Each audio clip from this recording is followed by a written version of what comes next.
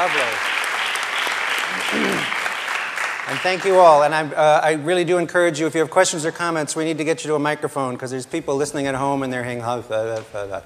So we, want, we don't want your thoughts to be lost into the room. So I know it's a long haul, but get yourself there. Get thee to a microphone. I think that's Shakespeare. Um, so this, the, now that the formal panel has tackled this map, we get to go to the next complexity because we are the, I don't know what we are. Um, this, this panel is essentially talking about the uh, societal and community benefits, the both first order and second order. So I wanted to actually have up here illustration three, which sort of explodes parts of the map uh, into pieces. Um, and so you'll see here what was one box is now benefit of art to society and communities and direct and indirect economic benefits. So economics was bundled into that one box. Now it's broken out here.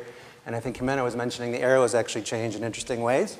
Uh, and then the sort of the, the, second order benefits to society is now in three boxes, which you saw in Sunil's conversation a little bit. Um, capacities to innovate and express ideas, outlets for creative expression, new forms of self-expression. Um, so our goal here with our great team, who I will introduce, we have David Fraher, Executive Director of Arts Midwest over here.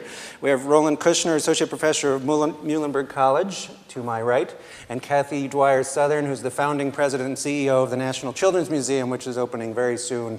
Um, and I think they essentially own the map. I'm pretty sure they might they might copyright or trademark it. So I thought first, just to get your first resonance or feedback, another test I like to use in maps or, or symbols is does it resonate with you? Is there a dissonance, or does it just leave you cold?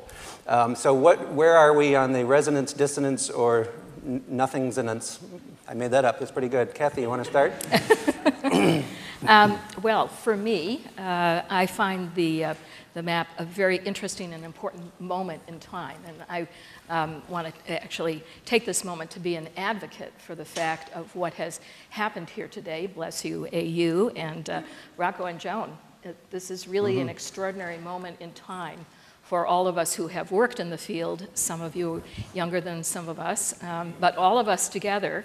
Uh, we've spent a lot of time all going our own way. It's a deep, fundamental quality of what it is to be an artist, and, and that's, that's really important.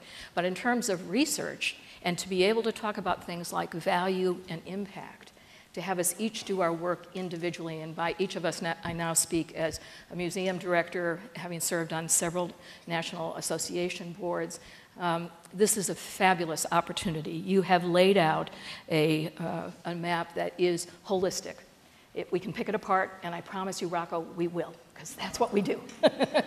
but then, once, we, once we're done doing that, the opportunity for all of us is really to, I think, play in. We can find ourselves as individuals, as a museum director, I can, I can see where I fit. I can, I can work out the work that we're doing at the National Children's Museum.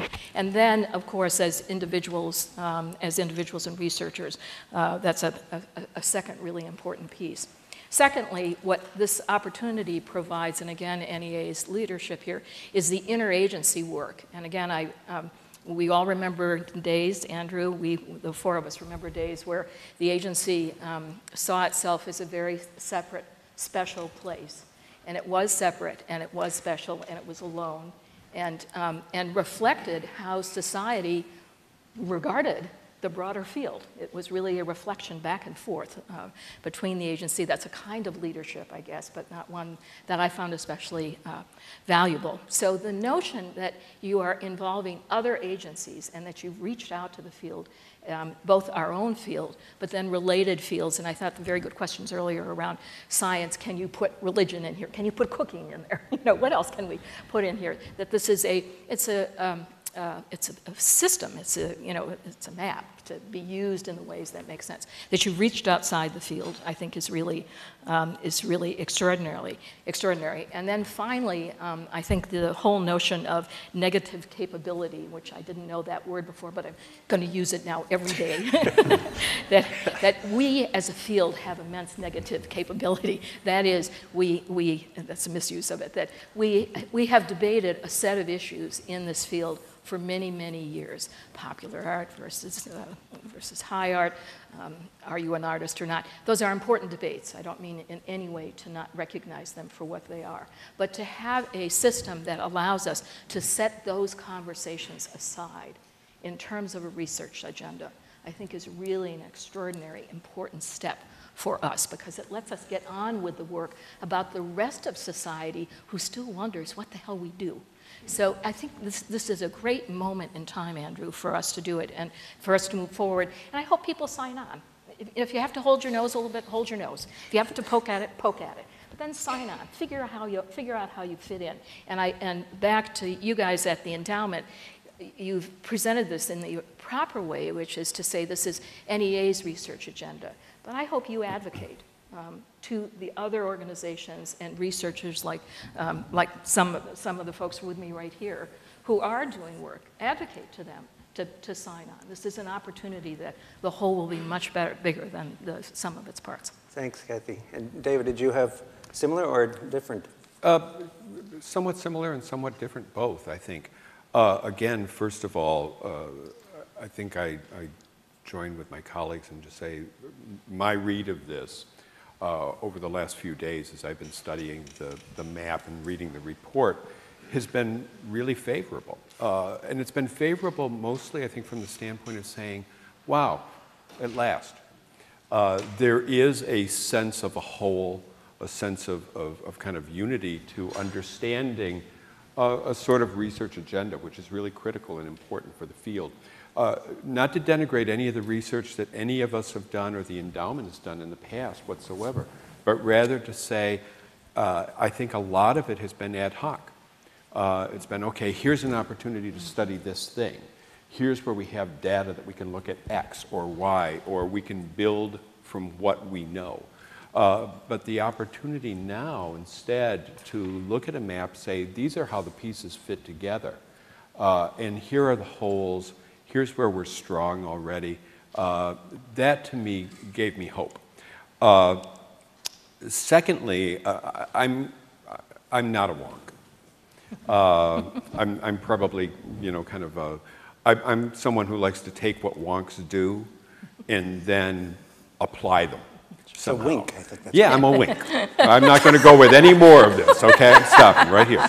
Um, but uh, for me, it's what happens next. So where I got really excited about looking at this, looking at both the research agenda, looking at the map, I was kind of coming at it from the standpoint of, okay, let's say we start to fill these holes.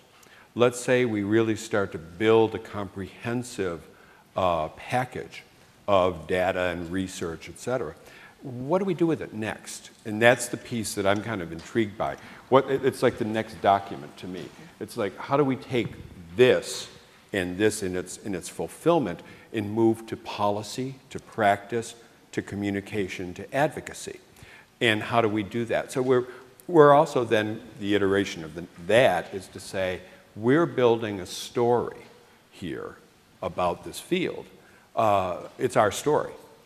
We then, and this goes, goes back to uh, some conversations I was having last week, said we, we need to know that we're not telling our story uh, the way we want to tell it, but that we're also taking all of this and understanding how we tell a story that people really want to hear. Yeah. You know, it's not like, A, it's good for you, drink it. Right. You know, it's, this, is, this is not the point now. Uh, so uh, I think that I get really excited about all of this. My biggest question on, on the map itself is the floating godlike moment at the top of human impulse to create and express, which I definitely agree with, but I also wonder why there's no loop into it. Uh, is it absolutely sacrosanct? Is it isolated from all of these influencers and, and uh, the, the multipliers and everything else? Does it exist solely on its own in perpetuity? Or can we destroy it? or can we enhance it? Uh, how does that operate? So I'm just wondering if there isn't some loop that doesn't at some point link back in there. Uh, because I think it, I don't think it exists solely on its own. So that's just a, a yeah. philosophical question that we'll throw out to all the aesthetics folks. Yes, well, no, David, on. David's applying the Big Bang theory to the map, which right. I like it. That's right. right. Boom. that is absolutely my favorite part of this map. I just have to share. Human impulse has to make a little jump to get into the system. Did you see that? It has a little leap. It has to jump over the boundary of the system, otherwise it trips. So there's a little tiny bump there. It's jumping over that line, and I think that's. I could spend like a, I could do a dissertation on that little jump. Um, it's, And it's, it that's actually is why I'm not a outside. The, right. Yeah, no, the that's idea right. it's, it's, and we know you could. Bad, bad idea. I think it's great. I'm going to get I'm going to get tenure so well. Um, but the, yeah, the idea that human impulse lives outside the system, it is somehow not connected in any way, and in fact, it has to jump its way in, um, is just really intriguing to me. But um, Roland, could you share what your perspectives were on this? Sure. Uh, uh, first, uh, thanks to American and to the endowment. Congratulations to Sunil and Tony for, uh, uh, for what you did. I love systems maps, uh, and, and I've, I've used them at various times in my own research. And uh, uh, part of what I do is uh, a national level, national and annual level measurement of, uh, of the arts with the, the National Arts Index project. And we base that, Randy Cohen's my co-author, we base that in a, um, a systems model. Uh, we, we very explicitly wanted to say uh, uh, that the arts have capacity, there's participation in the arts, the arts have competitiveness. And the first one, though I'll mention, I'm mentioning it at the end, is that the arts are financed. And this gets me to an issue that I'm thinking might not have been, uh, uh, might be underrepresented in, in, in the systems, the systems uh, uh, map. Um, you know, I think there's, there's some, uh, it has such a great scope and it has so many different elements in it, and, and yet I'm, I'm thinking of things that, to the extent that this systems map is the basis for a research agenda, that it's supposed to set a plan for how the endowment's going to allocate resources and how it's going to uh, uh, attract researchers from, uh, from the private sector and government. Uh, uh, a, a question that I, I think hasn't been addressed, and, and I think it's part of the ongoing process that the, that the uh, endowment is doing, is uh, who are the audiences for these pieces of research? What kinds of impacts, what kinds of change are the research products themselves supposed to accomplish?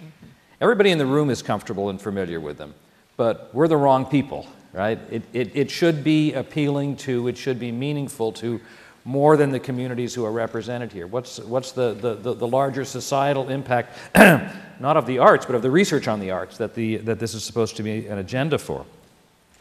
So I think about that, and uh, uh, I was also struck by the relative absence of dollars in the, uh, uh, in, in the systems map, because if these effects are flowing one way, and uh, it's a recursive system, what's flowing the other way? And all of the different impacts, values, benefits, worthy consequences that are, are there, how are they being created uh, uh, from the human spirit, from the, uh, fr- from the arts? So, so uh, uh, that was part of my, of my uh, reading of it was how do you get the best value out of the map itself? And, and, and some of my colleagues here on the panel have, have, have mentioned that. I also wish that it said more about aesthetics because it says expression and it says uh, uh, uh, that, that we're going to change lives and we're going to have these impacts and we're going to liberate the human spirit. But where's the place of beauty? Whether it's perceived by the beholder or the artist, I'd sure like to see it somewhere in there. You know, to know that it is the arts and rather than rather than just uh, uh, uh, e- e- expression. Um, and then what, uh, what the, the model describes, what the, the map describes as multipliers, these uh, external forces that affect the arts, I'm wondering if some of them aren't occasionally dividers as well.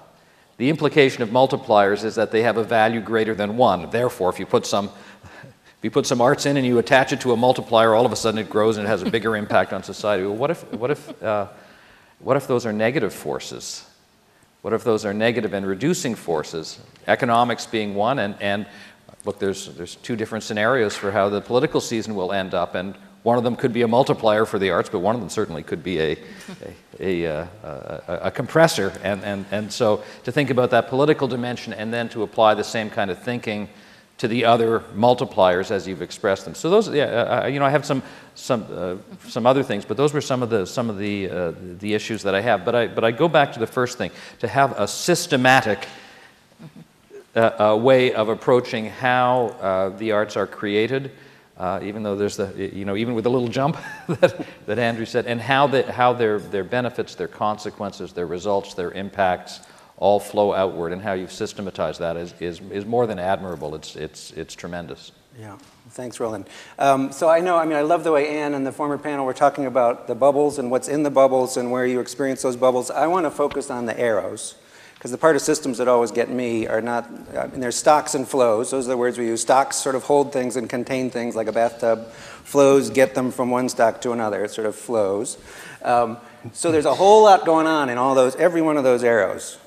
Um, it's sort of like the black box. Um, so I wanted to talk to our, our, our, panelists a little bit because each of you essentially does work to create, I mean, to, to build off the energy of that um, yellow sun in the middle and to actually generate um, or discuss about the, the value of those arrows and how they connect. So David, maybe uh, first with you, clearly through Arts Midwest, you're representing a lot of state agencies, but also artists and arts organizations they're trying to argue to their uh, constituents and make sure that everyone knows um, the values that are flowing from the experience they create. Uh, so, are there specific examples or sort of uh, reflecting points that you can talk about where you saw an arrow like that, where the way you talk about it, or maybe you could talk a little bit about how that um, how that flows? No, Okay. no, just, just, So Kathy, I think, uh, take a shot. just kidding. I mean, I've got to give the guy a little trouble because he did leave our region. Let's face facts. Uh, uh, the, uh, uh, well, we are talking here about benefit of art to society and communities, and I've, uh, I've got two or three points, examples thinking about that.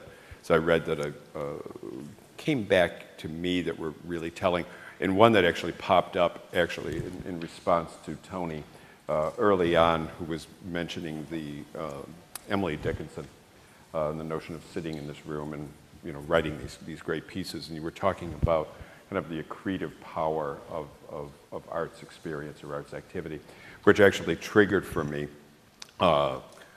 uh, a big read project that we've worked on with on behalf of the National Endowment for the Arts in Tucson uh, last year, uh, where a, a, local organization in Tucson uh, focused its big read activity on reading the works of Emily Dickinson uh, community-wide.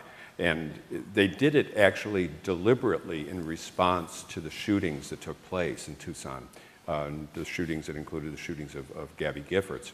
Uh, and they were using the process and the program uh, as a healing project, uh, trying to bring people together around this moment of beauty and peace, uh, utilizing the poems for what they were, but also utilizing the experience in restaurants, in bars, literally, in an array of clubs.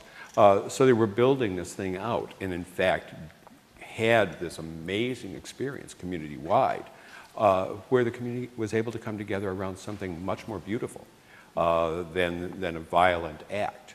Uh, on a very different plane, uh, I would look at a project that we're engaged with right now, which hap happily uh, we were just renewed for support on, a project called Caravanserai, uh, which we've been working with the Doris Duke Foundation for Islamic Arts on, which is an effort to introduce into smaller and mid-sized American communities a different understanding of Islamic society and Islamic culture and values through the arts. Uh, so we're in communities such as Helena, Montana, uh, Fayetteville, Arkansas, Jamestown, North Dakota, uh, tiny little communities and mid-sized communities across America with contemporary artists from Pakistan, from Morocco, uh, and we're having a dialogue and a, a, a community-wide dialogue about what does it mean to be from Pakistan? Who are you? What is your community like? What, are, what is, what, why, are, why do I not understand you? Why do I not know about you? And we're opening up this conversation. And again, are there, coming back to the point that was raised in the earlier panel, I think you're absolutely right that the line between benefit of art to individuals and benefit of art to societies and communities is very permeable uh, those bubbles are not, are not isolated. Uh, but we can, we can definitely look, and we're tracking through research that we're doing with Alan Brown, uh, we are doing a, a kind of a deep dive uh, through Caravanserai into how the experience of interacting with these artists is changing attitudes. So we're doing kind of a longitudinal study throughout the course of a year with a group of people uh, in these communities to say, what were your attitudes going in? How are you changing? What are you looking at? Uh, we're tracking such things as curiosity. Uh, because for me, curiosity is a big trigger, uh, both on an individual level but on a community level. How curious is this community about wanting to know more about another society? That means that there's more openness, there's more engagement. So we're looking at that, and I think that to me that's a, that's a good place of saying, yeah, it would fit in here. And the research we're doing with Alan Brown would definitely fit in here. It's not macro stuff, but it's data that would that I think that would be really useful in this in this dialogue. That's great, thanks. And, and Kathy, um, you've been working really hard in the First National Children's Museum for the United States, and I adore what they say on their website and their mission, inspiring children to care about and improve the world. So essentially, you're designing a museum experience to inspire empathy and action. So essentially, you are the arrow. Um, so, so tell me how that arrow works. How does it work in, in the way you're conceiving of the museum? We, we, it's not, nothing like working on a small project. You That's know? right. That's what we all like in this, in this room. Um, I want to pick up on, in answer to Andrew's question, some of the themes that David have, has just touched on because they've been very true for us. First, the positioning for us um, is to start with the visitor, that is the kid, and their impulse. So we start there. We start, we start, with, the, we start with the globe, but we start with the visitor, and that's an anathema for many artists who don't start with the participant, participant, but rather with their own creative juices. For us, we start with the issues of curiosity and creativity with the kid, and we think that is the, the appropriate starting point. So, in terms of building the museum, the first bit of work we did over three or four years was research in terms of asking kids what they expected in a National Children's Museum. You know, guess what? They have different opinions than we do. What, what, one of the things I can promise every single one of you, this is an insight I have about all of you in this room. I know this absolutely. It's a deep, dark secret. You once were a child. okay, so you started out there. um, and those impulses, you, you hung on to them somehow. You're sitting in this room. You are about the arts. That's why, why you're here. Your notions of creativity, um, curiosity are in hand. But somehow, for some kids, those get wiped away, get eliminated.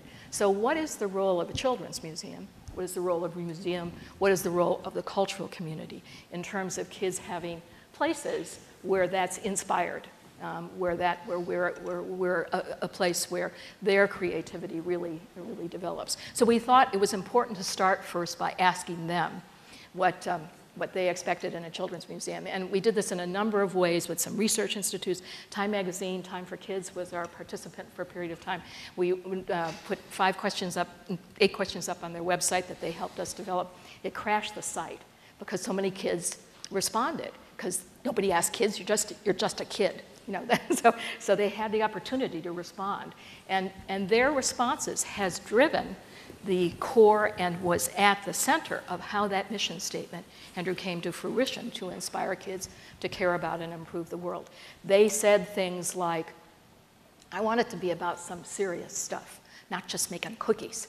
I want it to be about things that matter in the world. I want to be, a kid wouldn't use the word empowered, but I want to be part of stuff. I want to be able to do stuff. And, and, and I don't know how to do it. I'm 10, I got a bike.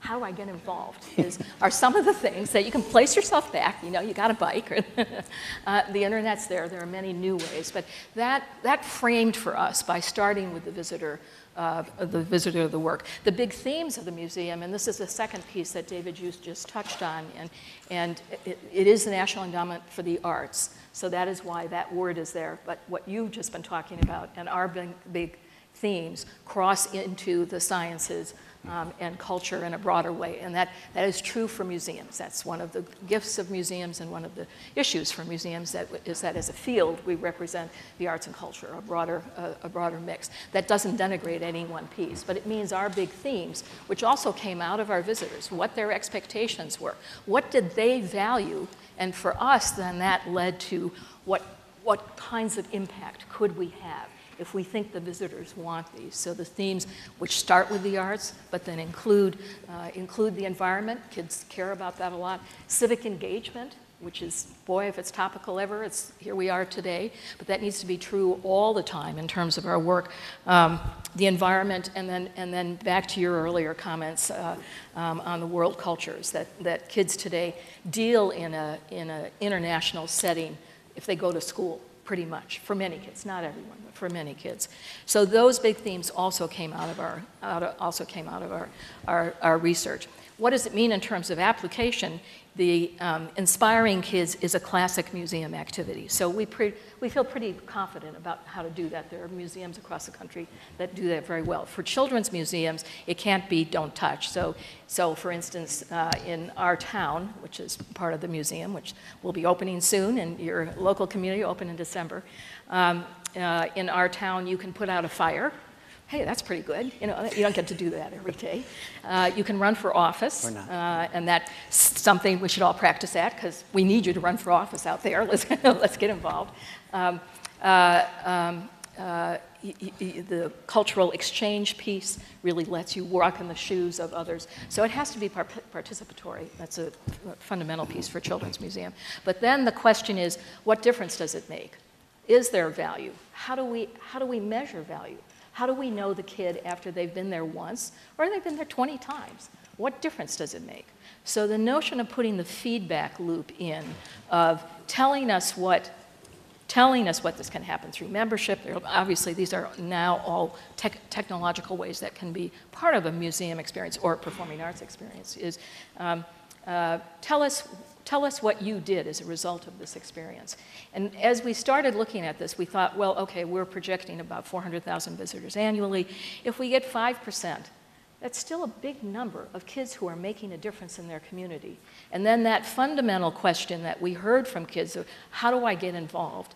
One of the best ways is to have an example. What's David doing? He's riding his bike off to, you know, to give to the food bank or whatever. There are so many wonderful ways to involve in society individually and also through groups. So some of it's as simple as, uh, as access. But what's important about it, it's the kid demonstrating to another kid. Adults are welcome but they're not the driving force. So the tracking mechanisms and feedback loop are really going to be important to us also, Andrew, and will roll out over the next couple of years. We thought the value of starting, we've had 30 years of working in this community, but of starting with a new facility was to kind of start fresh with putting in some of those basic elements as a part. That's great. I know a lot of children's museums now have adult-only nights, so I want to come um, when none of the kids can see what I'm going to play with and have yeah. fun with. And I can, You're welcome. Yes, You're that'd welcome. be great. Um, so, Roland, I guess um, I'm coming back, and you talked a little bit about the Arts Index, but so we can talk about our impressions and our stories and our narratives. Somewhere in here, it would be great to attach to either numbers or observations or research. Um, what are some of the ways that you've seen uh, both the arts and maybe other, uh, other areas of um, society connect research to the kind of things we're talking about here? Well, a couple, a couple of things. First, just thinking of the, of the anecdotes that, uh, that David and Kathy shared, I'm thinking of uh, where I live in Bethlehem, Pennsylvania. The arts have really had a, a transformative effect on how the community recovered.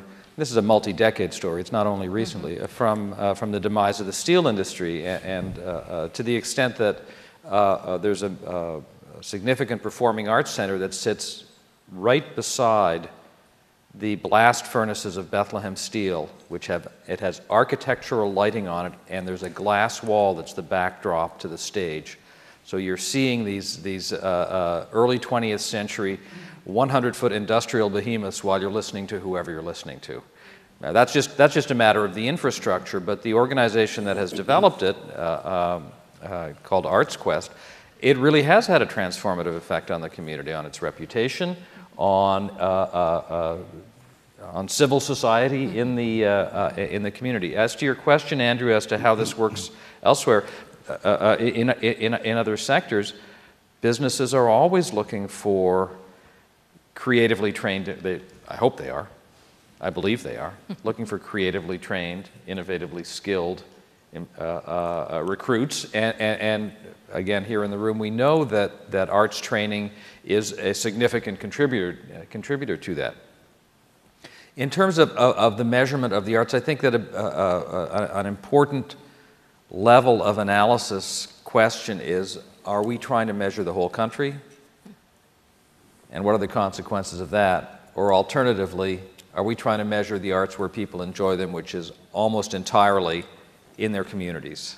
The arts are so, so much more a local phenomenon than, than a national one. Of course, there's national media. Of course, there is recorded media. There's iTunes and all of the different ways that, that we can all share in the same artistic product. But where the art is produced, it's produced in a place. And, and, and so, to the extent that, that, going back to what I'd said earlier about how this works as, as an agenda for you, that you think about how it works in communities, of course, you're doing many of those things as well with the, the new growth uh, and economic theory and with the Our Town and, and so many of the different programs that, that you have going. I think that's a, that's a real strength of, uh, uh, of what this, uh, what this uh, can do. Um, and it also makes me think of the question, as, as we sat down, someone in the audience said, How does this work internationally? How does this work in, in other countries? It works the same. If this is a good systems map, and I think it is, if this is a good model of how uh, the creative impulse extends out over society, then it's not unique to what we do here but the values attached to different arrows might be different in different places. So the same mapping process is going on, I believe, but here, here in the US, I think we, we, we, recognize that there's been a broader public policy interest in what the economic consequences of the arts are, and so that arrow has, gets more attention here. In other parts of the world, the arrow's still there, but they don't care as much because they get other intrinsic values out of it and, and they are sufficient for the policy side. Uh, uh, uh, so, so you, you, know, I see that, that, that the, the attention that, that you can use to, uh, to look at, at what goes on locally in particular, I think is, is, a, is a strength uh, of, um, uh, of how the arrows work, as you said, because that was your initial question. It's not just the nodes, but the, not just the stocks, but the flows as well. Yeah. Thanks. Um, and I think what we're going to do is flow into public comments. And if you're online, I'm, I am following the Twitter feed here. So um, send me a question or a comment. Uh, I think I want to turn our focus just a little bit, and I'm going to give you a preview of what I'm going to ask you to do toward the end if you're willing to stand up. Um, I'm curious about what comes next. So you've, you've heard enough about this to think about what might come after you see this and other people see it. And not just that, but what would you in your work or your uh, activity or in your commitment, what are you going to bring to it? So if there's a conversation that comes next here, what does it look like? Who's it among? What are you going to do personally or with your organization to bring it forward? I'd love to hear those sort of things. I'm starting to hear people get up. So go ahead and Say whatever you're going to say before I primed a different question. oh, okay, I'm, I'm going to respond to your question. Okay, actually. go That's then. exactly what I wanted to say. I'm, I'm Marjorie McGurk. and I want to congratulate the NEA and the Monitor Group for putting together such a wonderful systems map, and especially for selecting Asheville, North Carolina as one of your cities to hold your seminar. Very proud of that. Um, I'm struck by some of the comments about science that came up earlier, that science could be the yellow sun, um, that science is a, uh, that art is a form of research that increases knowledge of society. But I'm also struck by the difference between what I view uh, difference between science and um, art. I think there are a lot of artists here. Raise your hand if you're an artist. Everybody. Yeah. So speaking as a token uh, scientist in the room, you know, art Art is, um, uh, has ambiguity. Art raises questions. Science tries to come to its truth. Science tries to be devoid of emotion. Science tries to, a good science write, writing at its best has no gender, has no questions, has answers, has no personality, has no uh, advocacy, most important. And art, in many ways to me at least, seems to be quite the opposite. That gives art the power the ability to change human thinking, human behavior in the course of, of humanity. And I was wondering, with that in mind, no pressure on the artist, how do you see how art can um, work with scientists to help us understand our world and move forward with all the kinds of problems and solutions that we need to evolve. That's a great question. Because, because we don't have to use establ- uh, the, the whole process of breaking established scientific paradigms is a creative process. More so, if we use science to describe art a little more, we know that for humans to extract memory from their brains, memory is associated with emotions. If you really want someone to think and act, you have to deal with their emotions. Science doesn't deal with emotions, it's facts. It tries to put forward facts in a non emotional way. But it's the artist that can take facts and figures and science and information, what you're doing at the Children's Museum. You're presenting the world in a way in which they can act. If you want people to move forward on any ideas, emotional context, waves of things that we've done in our country, um, it's been through the art. It's Yeah, Some of the, great. some of the most, it's it's an excellent question.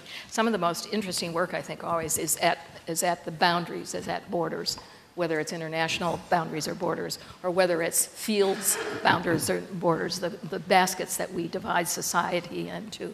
And, and one of the things that we've discovered, certainly working with kids, but that's true for all of us here as well, is that, is that these things do smush together, and that where the, where the real vitality comes from, for me at least, is the rub, is where, where one crosses over to the other, or where I might debate with you a bit about the uh, lack of emotion around science. I mean, the landing of the uh, Mars uh, rover, I saw a room full of passionate, screaming engineers and scientists. They did not look not, not deeply emotionally involved. So, and I realize that's not quite the, uh, the, the saying that you're talking about, but I think we can learn from each other in those fields. And pushing in on those boundaries, we find kids don't see the boundaries. They don't start out there. We teach them the boundaries, but they don't start out there.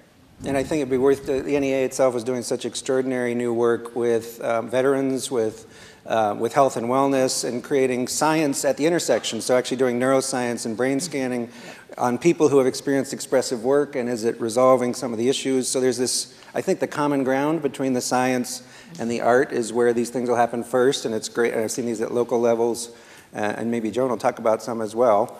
Um, talk over here first, then we'll go back here. Um, I'd like to respond to Roland's comment that art is local. Um, it may, it just isn't true in America. The, the vast majority of the time we spend appreciating art is cable television and theatrical movies and stuff that everybody has the same stuff. Even uh, people who are very passionately involved in arts might see plays once a week, but they'll watch TV for hours a day. But they're playing guitar in their own houses and with their own friends. And they're reading and writing and painting in their communities. So there, so it, there, there is a, there's a national message, uh, there's a national content to be sure, and even a global one. Uh, uh, uh, and, and there's a superstar phenomenon that we know that the, that the, the, the large, the, the, the best publicized works get the national attention. That's the economies of scale. But there is so much that goes on at the local level. Local businesses in the arts, uh, uh, local competitions and, and educational programs for students. They don't all follow a national pattern. So it, it's not an either or, but, but I think it's critical to, to recognize how vital the arts at the community are, even while from a macroeconomic standpoint, which Rachel I know is your, is your interest, we recognize the impact that it has on the economy uh, at the macro level. That's great. Over here, Joan. Uh, hi, I'm Joan Jeffri. I'd like to pull back a little bit to what Sunil was saying earlier about this extraordinary partnership that the NEA has forged with so many other agencies, NIH, NIA, and so forth. And I think, and, and maybe give the NEA a little homework. Um, now that the research division at NEA and research is evidenced as, as a real place of seriousness and rigor, uh, I think the perception by some, I'm interested in the panel's reaction, is that um, the NEA is a little data heavy, especially with big data sets, and I, I'm fully aware that you need data to make policy. Um, and my hope is that the NEA can help to convince some of these partner agencies that uh, heavy data sets don't always portray the arts or artists accurately, um, that everything isn't a randomized clinical trial, that that isn't always the right answer, and it isn't always appropriate. And I think we need, in a sense, a joint education of those agencies on um, how to think about researching collaboratively to make this positive. And the other thing, and I know Sunil must be thinking about this, is how do we use these agencies to change the census and other government surveys to reflect our reality, which is not less, it's different. Comments or responses? Right, Sunil. Yes. Thank you, Joan. Go ahead. Yeah. Hi. Uh, I would first like to comment on um, the sad lack of art used in displaying how art works, which sort of made me sad in a way.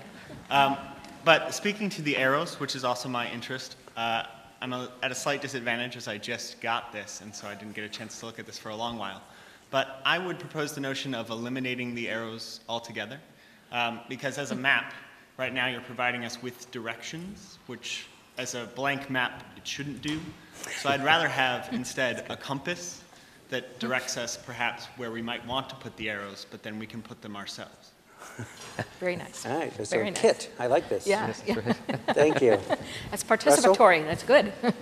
Are you just stretching, or are you going to say? No, I'm, I, uh, Russell Taylor, no relation, as Andrew is always very Yes, quick please. to say.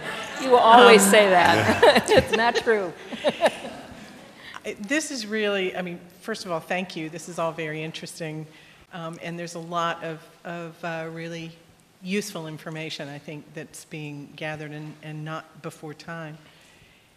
Several people on the panel have commented on the value, you know, making sure that we know what the utility of the information is. And I think that's terribly important because um, I suppose if, if I could uh, query the NEA on anything, it would be, do you plan for every dollar you spend on this, which I think is a dollar well spent, to spend a dime telling people you've got it and how they might find it useful? Because I think, you know, we, we have a lot of reports, and this is new ground, I'm not suggesting that it's not. We have a lot of reports that have a high thud factor that gather dust and, you know, and, and, and um, or virtual dust, I guess we would say now.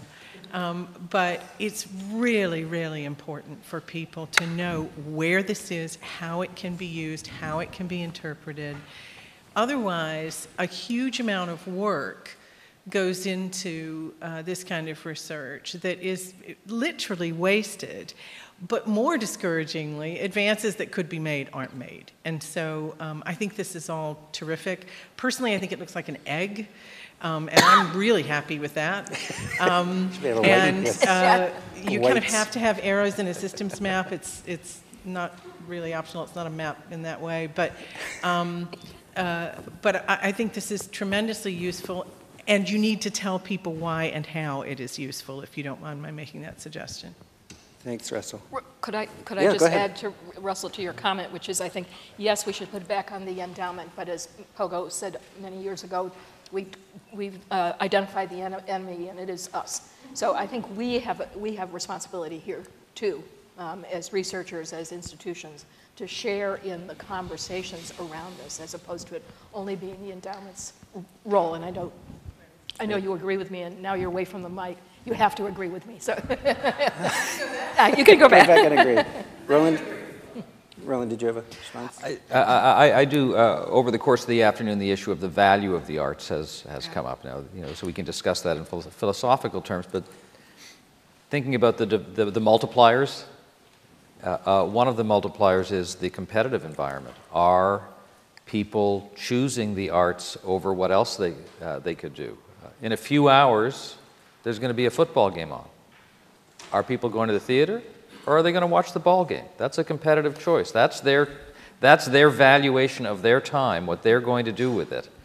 And uh, uh, I, uh, just, just speaking to the last point that was made, if, if to promote the arts and help achieve the, both the endowment's larger objectives and the, and the research, the, uh, the Office of Researchers' uh, uh, objectives, that point about uh, why is it important that we know the answers to the questions that are, that are implicit there? Uh, and you, you, have to, you have to sell that along with the art itself. Uh, so I, I, really applaud the, the, the, who asked the, the question. I'm sorry, I don't know your name. But, but that's, I think, a, a, a, critically important point that it's, it's, uh, we are not the right audience. We're already sold or we wouldn't be here this afternoon. It's the audience that's not here that needs to be, needs to be persuaded. So what does a piece of research do to help deliver the better outcomes that are implicit in that map. I think that's, that's kind of, uh, of how you, you take this and, and leverage it and you know, maybe you know, spend that 10 cents on the dollar uh, uh, to, to, to promote the value of the research as much as the research promotes the value of the art. That's right. Just remember that's our 10 cents they're spending, so we just got to be, make so, sure we're really, we have to give them an extra with, 10 cents. Do it with 9 cents. yes, please.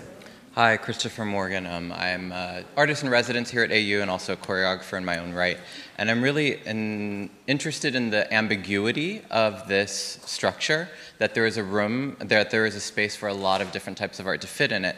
And then I was really motivated by what you asked about, well, where might things that don't fit in this go? And to go to your question, Mr. Taylor, about what might the next steps be, perhaps this is a great tool for those of us that are arts administrators or artists to bridge to those that don't fit into these models. Mm-hmm. Through this work, we are educating audiences and each other, and those that don't fit in then become a beneficiary of this work without even having to fit themselves into it, perhaps. And I'm also very curious then about the next steps. As a field, as many fields, but particularly in dance, the structures that have existed so far are really um, in disrepair. The 501c3 non for profit model is very much broken for many of us. And I think this is alluding to, and I'm very optimistic about it, ways to start bridging to those artists and those that don't fit into this particular construct. And I'm curious where the NEA sees future bridges for that coming down the road. Um, it's a big, huge question, I understand, but I think it's something that a lot of us, you mentioned work with the Duke Charitable Trust, I think they're one of the ones that's doing great work in that front, but I'm curious where that is the next step for many of us. That's great. Thank you. Go ahead.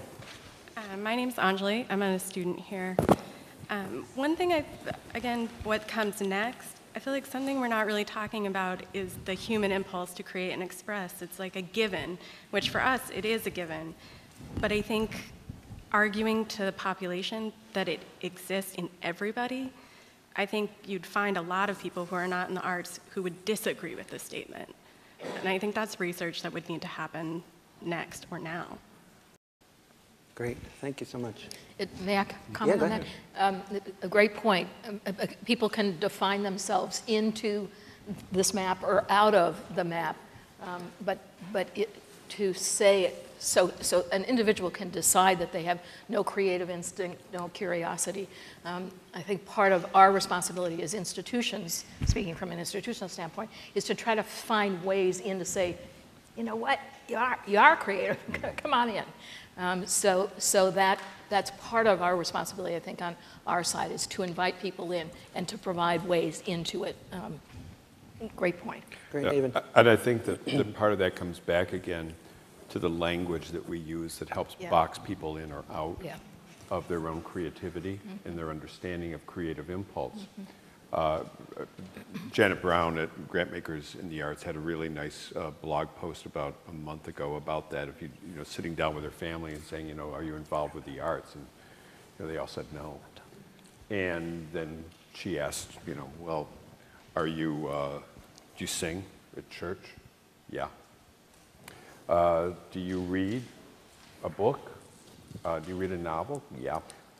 And she started, then you get to the specificity of like being engaged or a participant or an engager with art. and then you start moving beyond that into where you do exemplify creativity. My father was a machinist for General Motors and uh, graduated from like the sixth grade and would never himself say that he was an artist. Uh, he would not say himself that he thought of himself as, as, as creative. That said, I watched him essentially build a clock from scratch uh, with, you know, figuring out how to cut metal, how to make springs, how to do all this stuff, and he built it. And I would say he's pretty darn creative. Uh, but he would never put himself in that box, but that creative impulse was in him.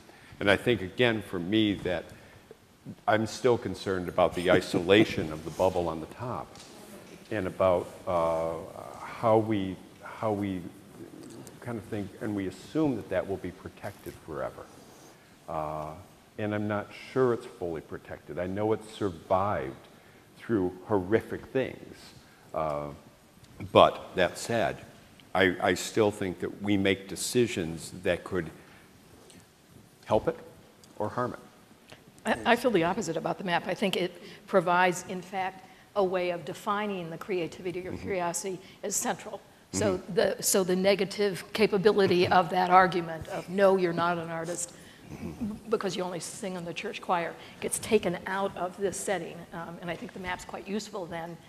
It has to get reinterpreted in, a, in an easier way for regular human beings. Right. One, One, go. one, one little tiny last thing, because I think we've all talked a lot about the, the notion of the, the map and its, you know, how fixed is it? And I think that none of us is using the same world atlas that we used 20 years ago. Uh, and so the fact of the matter is that this is this map, and this is right now. And we will see, the, you know, the bubbles shift and change, and the, and the lines shift and change or go away. But it's a place of starting, and I think it's great.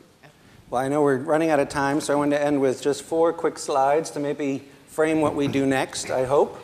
Uh, one of my favorite quotes from statistician George Box. So, all models are wrong, but some are useful. So, here, this, this model had a very curious, it was a utility to the internal workings of the National Endowment for the Art and the Research. They had to say something to the Office of Management and Budget, probably, about a logic model that informed the way they spend our, tax, our taxpayer money.